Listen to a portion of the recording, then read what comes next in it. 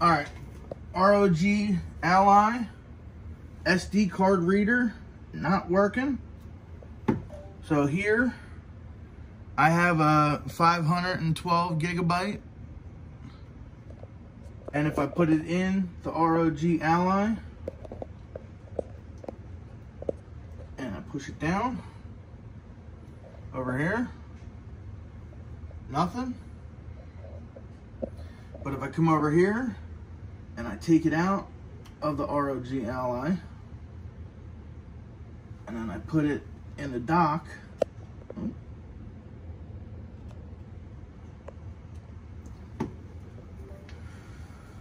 And then it pops up. Right there. But then if I come back over here and I pull it out and then I put it back inside the ROG Ally. Nothing. Tried to wiggle it around, tried to move it, but if I take it back out of here, and I put it back in here, pops up, and shows. Good.